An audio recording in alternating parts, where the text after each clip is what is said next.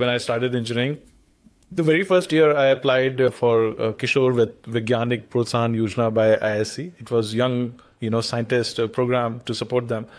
And, uh, you know, I, I thought of, about an idea that how can we garner like, uh, you know, sunlight during the night?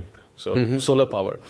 So a couple of geostationary satellites, which are like you know uh, passing on things here, there, and you know a small paper was created and submitted.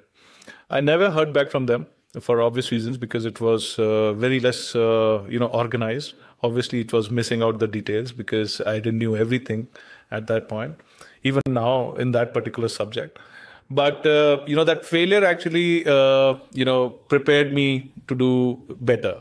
You know and uh, and that's why you know uh, we when I submitted for the next you know application for Department of Science and Technology, it was slightly better prepared, uh, more focused on the objective that what what needs to be done here.